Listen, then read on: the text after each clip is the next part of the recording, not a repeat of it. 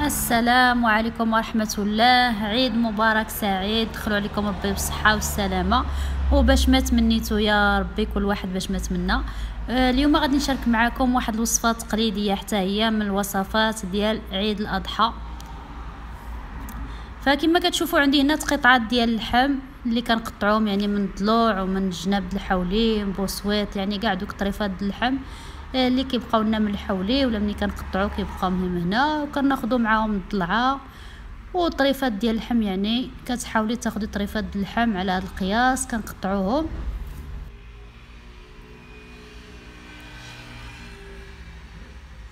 المهم الوصفة ديالنا اليوم واحد الوصفة اللي هي تقليدية مية في المية. آه، كيف ما كنعرفوا يعني الناس ديال زمان كانوا كيحاولوا يصبروا اللحم يعني أطول ممكن أطول مدة ممكنة يعني اللحم العيد.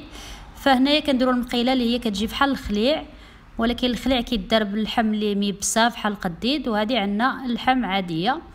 فعندي هنايا جوج زلايف ديال الشحمة وغادي ندير نفس القياس ديال الشحمة ديال زيت الزيتون يعني جوج زلايف ديال الشحمة. غندير فيهم زوج زلايف ديال زيت الزيتون. والاقامه ديالها يعني غادي نشارك معكم دابا تشوفوا هنايا عندي آه، معلقة ونص غادي ندير معلقة ونص ديال القزبر بلدي ولا القزبر عيد كبير. وغادي نديرو معاها آه، معلقة الكمون يعني كنهضر على معلقة كبيرة.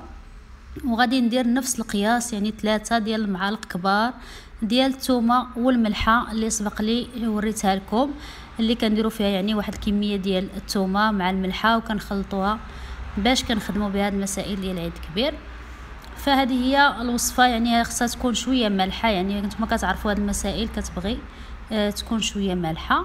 فهنايا غادي ندير أول حاجة غادي نشرمل هاد آه اللحم. غادي نجيب شي بانيو فحال هكا كما كتشوفوا وغادي ندير له الإقامة ديالو اللي قلنا هي القزبر قزبر يابس. في هاد الكمية ديال اللحم يعني كتقدري تزيدي ولا تنقصي. فحنايا كنديروا واحد شوية لأن كل حاجة كنديروا منها واحد شوية يعني باش كيبقى آه، ديك المذاق ديال العيد كبير وصافي.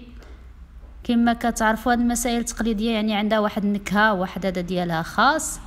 فهو بنفس المذاق كيجي تقريبا ديال الخليع وكنديروه في الفطور كنفطروا به مع البيض ولا كنديروه في الرغيفات ولا في المسائل بحال هكا.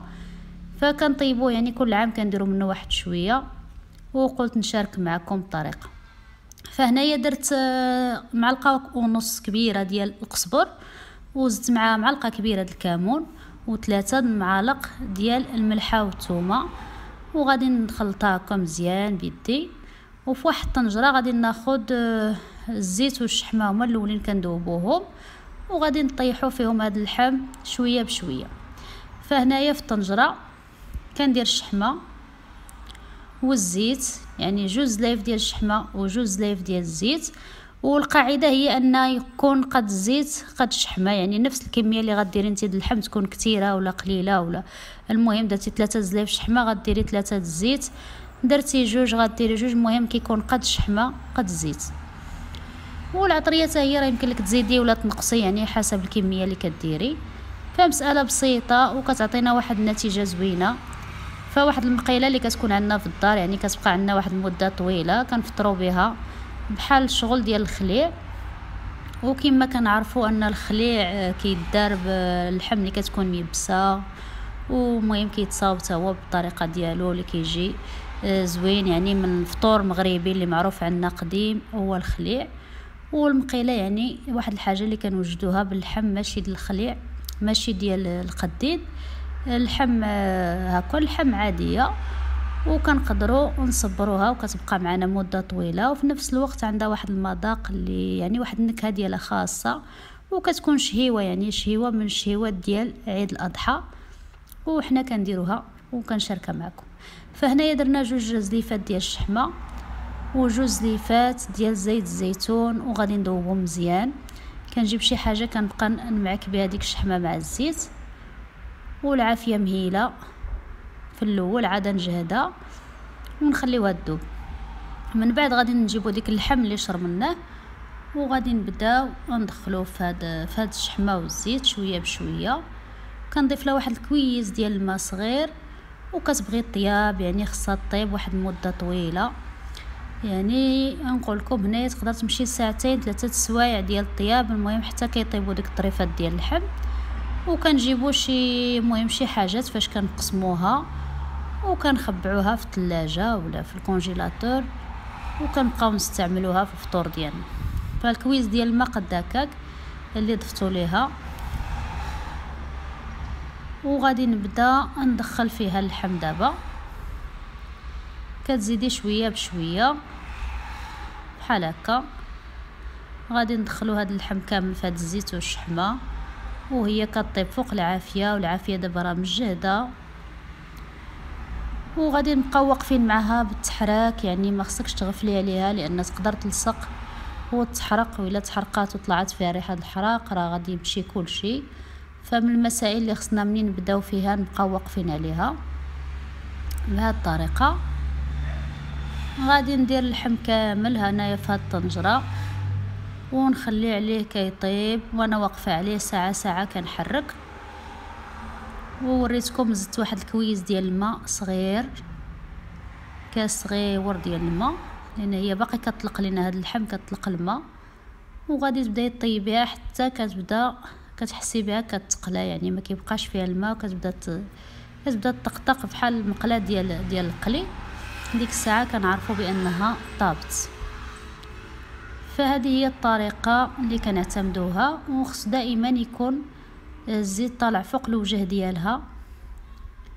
ما تبقاش اللحم هكا من الفوق يعني دائما تحاولي تدفعي اللحم من داخل والزيت تكون على وجهها باش كطيب مزيان. هنايا بعد ما دازت ساعتين ديال الطياب فباقي خصها شوية. كنقلبها دائما من تحت ديالها ما نخليهاش تلصق. كتبقاي واقفة معها وفيما تقلبيها تعاودي تدفعي اللحم من داخل وتخلي الزيت والشحمة تطلع على الوجه ديالها يعني تكون هكا كطيب. وكان غطيتها في الأول واحد خمسة ديال الدقائق يعني غير واحد خمسة ديال الدقائق عشرة دقائق ما كاملاش وكتعريها يعني الطياب ديالها كامل كتكون بحال هكا عريانة ما كنعملولاش الغلاقة.